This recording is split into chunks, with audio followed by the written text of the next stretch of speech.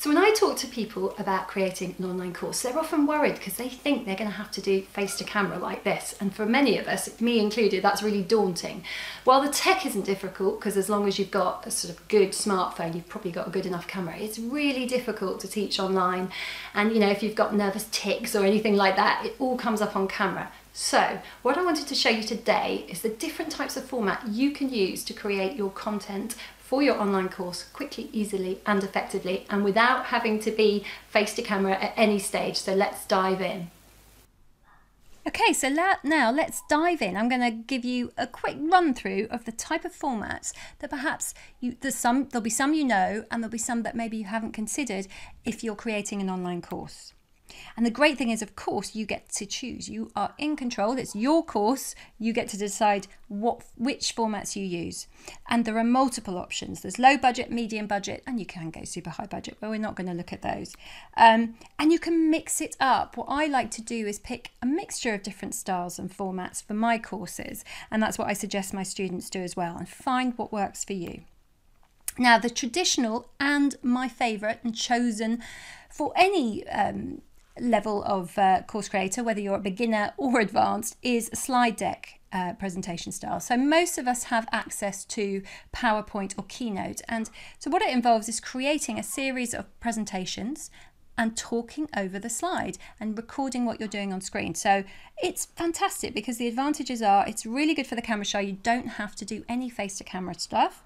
Um, it's a format that your viewer will may may well be used to. If they've done courses before, a lot of the top course creators use this format, so they'll be used to it and they will enjoy it. Um, and it's a good budget option. You really don't need very much. You've probably got most of the things you need. I would suggest you get an external mic, um, and I can give you recommendations for those if you're interested in that, uh, but it doesn't have to be expensive at all. The disadvantages are it can feel a little less personal than face to camera, but that's a small price to pay. And of course, you could add small bits of face to camera in to create that personal interaction. Then, of course, there is face to camera. That's what a lot of people think of when I say to them, Have you considered creating an online course? They often say to me, Oh, but I don't like to be on camera. Um, and that's why I do like to explain all the different options. But face to camera is certainly an option for some people.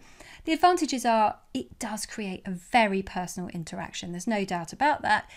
If you do it right, it's very, very personal. You know, it feels like someone's talking directly to you. And it can be engaging, but that entirely depends on your presenting skills because the disadvantage is if you're not comfortable on camera, it will be very uncomfortable for both you and anyone viewing it. If you're determined to do face to camera and you're not yet a very good presenter, of course you can learn and you can practice. Um, and that's that's what I'd suggest. You must practice, practice, practice. And of course, lighting and setting is very important. So it can be a slightly more expensive option um, because you're going to need more equipment. You will at the very least need a good smartphone camera, but often you'll need to upgrade relatively quickly to a good digital camera. And for vanity purposes, you probably want to get some good lighting because it can look awful if it's dark and you haven't got good lighting. Although, if you're lucky and you've got good natural lighting in areas of your home, you can probably make it work if you're on a budget. Now, screen share uh, with a face to camera tab, as you can see here, is a lovely option that kind of balances out both. So you could have your sort of talking head in the corner when you're sharing your screen, whether it's a sort of slide deck presentation or if you're sharing what's happening on your screen. Now, the advantage of this is it really does create that personal interaction just as you have with face to camera, and it can be more engaging than just slides. And it's lower budget, you know, because you're not having to worry about the background and making the lighting look right, um, and you don't have to get a camera or a special smartphone. You can often just use the camera that's on your computer or an existing webcam. Um, as I said, lighting and background is not as critical as it is if you're having a sort of full screen camera job. The disadvantages are you still need to be comfortable on screen. I have seen some very interesting uh, variations on this with people who are obviously not comfortable and they kind of forget that you can see what they're doing in that corner um, and it can be really, really distracting, particularly if someone's not, not good at it. So don't overuse it.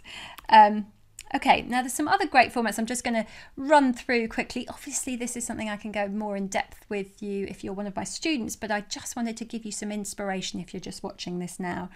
Um, there's the traditional screen share. That's where you share what's happening on your screen. So at the beginning we looked at sort of sharing a slide presentation but this would be for instance if you are teaching someone how to do facebook advertising you might need to show them how to set up their facebook business account or how to set up their ads all those things and you would need to show them how to do it on screen and that's a traditional screen share and it's a very good way of teaching those kind of practical lessons whiteboard. Uh, this is lovely Brendon Burchard. He uses this a lot if you are a good presenter, this is takes you back to sort of almost formal teaching styles because that's what we're used to seeing in schools or lecture halls.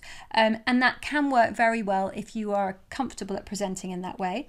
And then this one I've put in for fun. Um, obviously, you would have it showing up the whole screen, but I've just added this to the slide deck that I'm showing you. This is where you could actually share what you're doing on your iPad, which gives you the freedom to do drawings, to do presentations.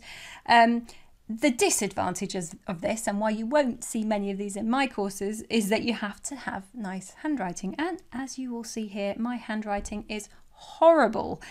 Um, but if you've got nice handwriting, if you, you if you're drawing, I mean, it'd be very good if you were teaching an art course or something like that. But it's also good for explaining sort of complex sequences and things like that. It's nice to be able to draw it out on um, on the screen. So that's a really good option. But how do you choose which format is right for you? Well, find a format that suits you and the content you are presenting. What's the best way you think to get that particular point across? So the decision might be very easy. If you're trying to teach someone how to set up a Facebook account, the the sort of example I gave you earlier, it would be very difficult to teach it in any other way than actually sharing your screen and showing the process step by step. You could take screenshots and put them into a slide deck, but it's preferable probably to share your screen. So sometimes the decision will be easy to make. But you also need to think about the format that you are comfortable with. I personally could never do a whole course face to camera. I'm extremely uncomfortable on camera, and it'd be extremely uncomfortable for someone watching me for a whole um, course on camera. But I'm okay doing a little bit of that. I prefer doing slideshows like this. And what do you have the budget for right now? You might be the most engaging presenter on the planet, but perhaps you do not have the budget for, this, at the very least, a smartphone with a decent camera or even better, sort of a, a, digital camera and some lighting. So that might not be an option for you currently, and that's fine. Just start with what you have the budget for. And very important, you really need to think about what works well for who you're aiming this course at. Think about how they might like to learn. Think about what's going to be the easiest way for them to digest what they want, what you're trying to teach. Okay. So I hope that's inspired you and shown you how many different ways there are to present your content and teach online and create a really professional looking and effective online course.